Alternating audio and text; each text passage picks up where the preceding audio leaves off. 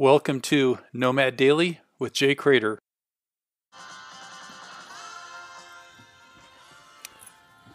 Enjoying the free time.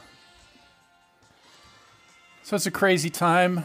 Coronavirus, COVID 19, shelter at home, social distancing. And I've kind of adjusted to this new normal, and I got to say, it's not so bad. Uh, I'm not feeling any real, um, like, panic. It's it's as far as I can tell, it's going to be a couple of months of this, and I've never had less things to do. I'm actually going to read a book. I'm going to read a book, not speed read a book, but actually read a book. And uh, this time, something I've always wanted, and I help people to get, I've got it. So I'm enjoying the free time. I'm enjoying it a lot.